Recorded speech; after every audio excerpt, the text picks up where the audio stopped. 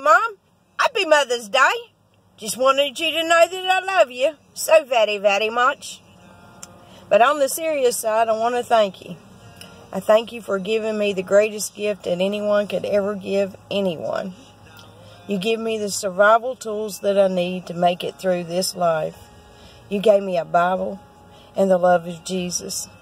You've always been there for me, and I thank you. I love you, Mom, more than you'll ever know, and more than I could ever put into words. Thank you.